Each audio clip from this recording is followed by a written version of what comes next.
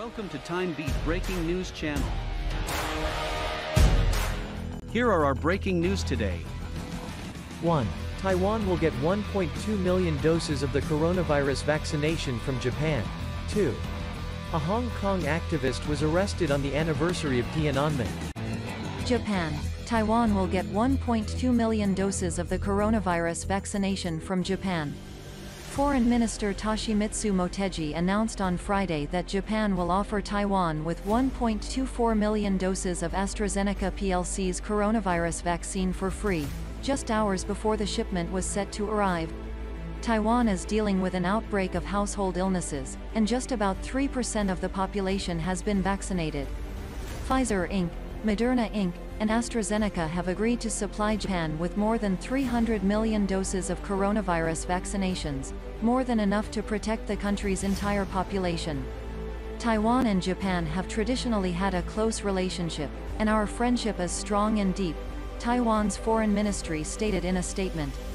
Whenever disasters or tragedies strike, both sides extend a helping hand to each other and send assistance in an emergency. Last month, Japan authorized AstraZeneca's vaccine and agreed to purchase 120 million doses. However, there are no immediate plans to utilize the shots due to ongoing international worries about blood clots. Hong Kong. A Hong Kong activist was arrested on the anniversary of Tiananmen. Hong Kong police have detained pro-democracy activist Chow Hang Tung for encouraging unauthorized assembly. Her detention coincides with the 32nd anniversary of the Tiananmen Square crackdown in 1989. Ms. Chow is vice chairperson of the Hong Kong Alliance, which holds annual vigils in memory of those killed in Beijing's murderous crackdown 30 years ago. It comes as Hong Kong has for the second year in a row prohibited the vigil, citing coronavirus limitations. However, for the second year in a row, Macau officials banned the vigil, claiming that it would violate local criminal laws. According to an AFP story, she was placed in a black saloon car and drove away.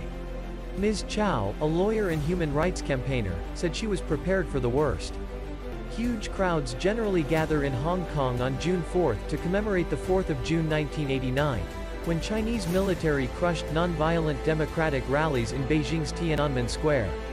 For the past two years, the alliance's vigils have been prohibited, and Hong Kong police are on high alert to prevent any gatherings. This year marks the first anniversary of the passage of a new security law intended at suppressing the city's pro-democracy movement and criminalizing dissent. Residents were encouraged to light candles in their homes and neighborhoods to honor the victims, according to activists. Taiwan is also expected to host Tiananmen Square commemorations. Even oblique references to the events of June 4 have been outlawed in mainland China. Thank you for watching. We help you stay up to date all the news hourly. Please subscribe our channel to follow up the latest one.